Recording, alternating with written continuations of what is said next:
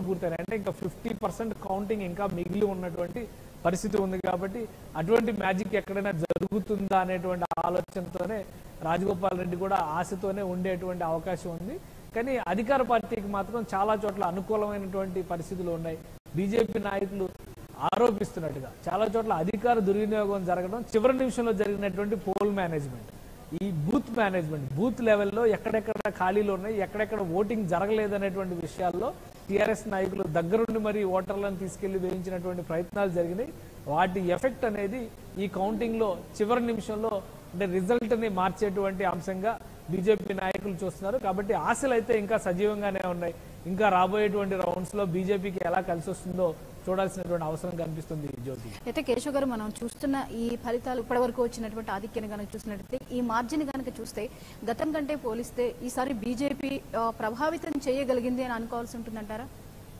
ఖచ్చితంగా బీజేపీకి ఇది ఒక బలమైనటువంటి స్థానంగా మారేటువంటి అవకాశం. అంటే రాబోయేటువంటి రోజుల్లో ఇప్పుడు ఒకవేళ గెలుపు ఎటువైపు వచ్చినా కానీ రాబోయేటువంటి రోజుల్లో మునుగోడు ఒక పటిష్టమైనటువంటి స్థానంగా బీజేపీకి మారేటువంటి అవకాశం ఉంటుంది. మునుగోడు బయోగ్రఫీని చూస్తే కూడా మా సహజంగానే స్వాతంత్రం వచ్చినప్పటి నుంచి చాలా కాలం అన్ని నియోజకవర్గాలు కాంగ్రెస్ కంచుకోవట్లు పంతొమ్మిది అరవై ఎనిమిది నుంచి మునుగోడు నియోజకవర్గానికి పాల్వాయి గోవర్ధన్ రెడ్డి ప్రాతినిధ్యం వహించారు. పంతొమ్మిది వందల ఎనభై మూడులో TRS party Telangana Telugu Desam party వచ్చిన తర్వాత అది పూర్తిగా కమ్యూనిస్టు సీటుగా మారిపోయింది. అంటే పొత్తుల్లో ఉన్నటువంటి నేపథ్యంలో తెలుగుదేశం పార్టీ మిత్రపక్షాలకు కేటాయించినటువంటి సీటు.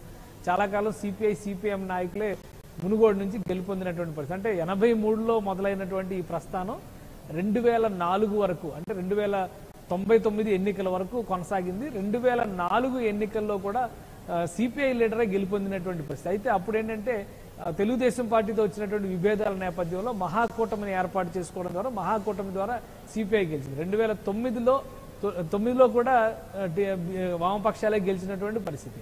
రెండు వేల పద్నాలుగులోనే మొదటిసారి టిఆర్ఎస్ అంటే తెలుగు తెలంగాణ రాష్ట్ర సమితి అభ్యర్థి అక్కడ గెలుపొందారు.